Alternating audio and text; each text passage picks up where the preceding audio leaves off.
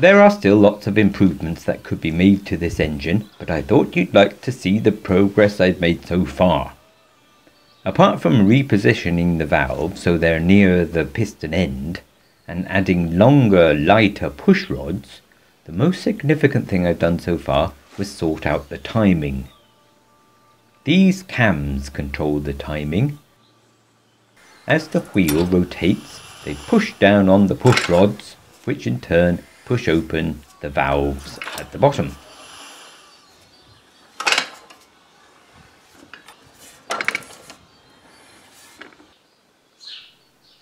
I tried a few different ones for the pressure stroke.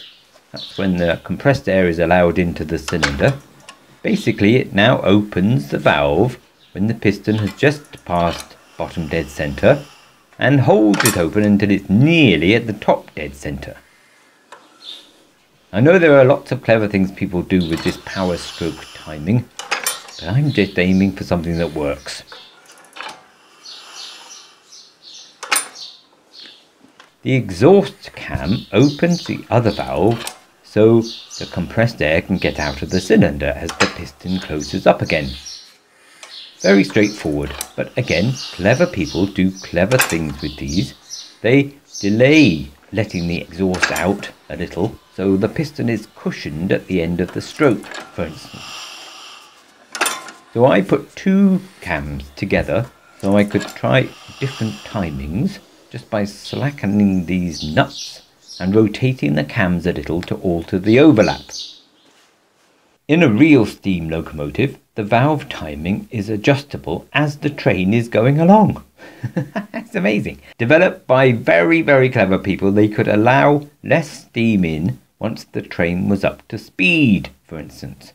The mechanisms were complicated, and it's no wonder that the drivers were called engineers because they were constantly adjusting the valves to get maximum efficiency or speed now I'm not worrying about efficiency at all just yet, so it's easy for me. I'm just aiming get this thing spinning round and round. Thanks, by the way, for all of you who tried to help with the spool valve design. Lots of you told me about O-rings and carbide cord and other ways to seal the ends. That was all very interesting, but of course the problem isn't really the ends of the rod. It's here, where the input and the outlet ports cross the main shaft. When the groove lines up with these holes, then the air can flow through freely.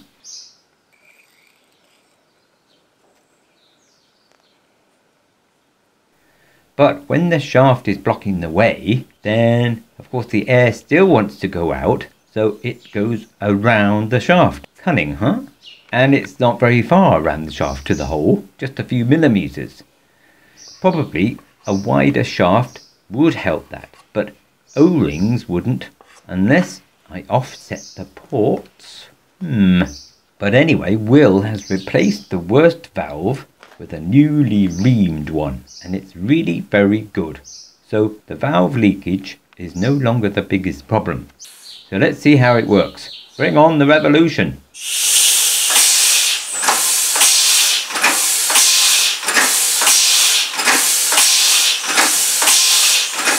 Now look, that's quite exciting, isn't it? Round and round and round.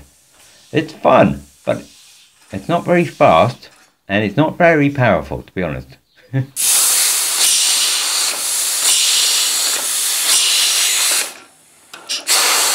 Using the timer in my video editor, I could see that this was spinning at 45 RPM, but I could stop it with my hand on the rim.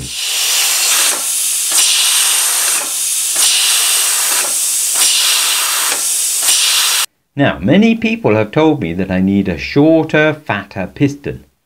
But I'm not sure you're right, people. That would make the engine spin round faster, that's true, but with less torque.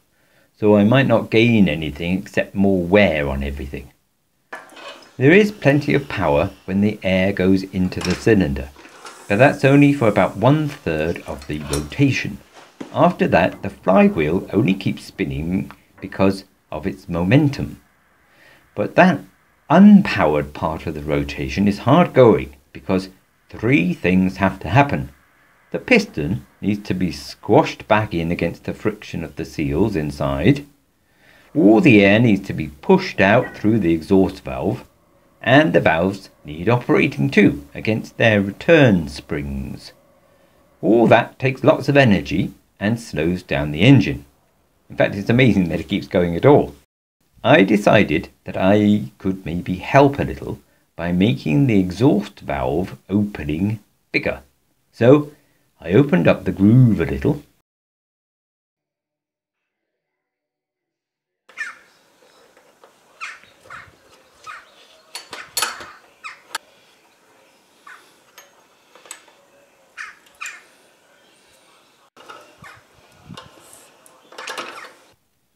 And there are lots of seals in this piston. Obviously, they didn't really put them in there just for fun, but I removed some of them because they looked a bit superfluous to me, and just to see what difference it would make.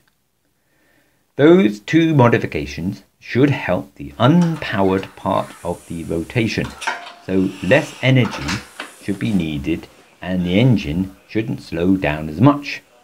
What do you think? Would it work? Here goes.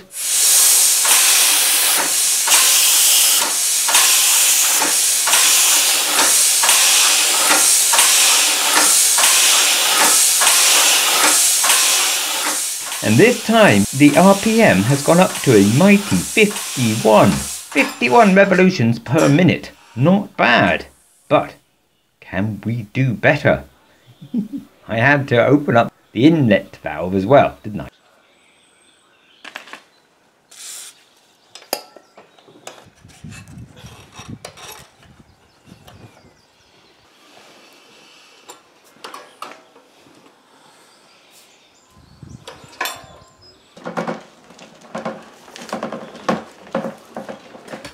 And that pushed the speed up to a terrifying 55 RPM.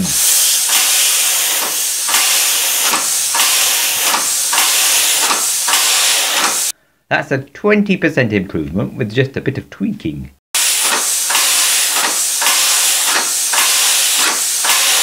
Now, I wonder, have we reached its tip-top speed? Or could we, dare we, push it further. Whoa, it's so exciting.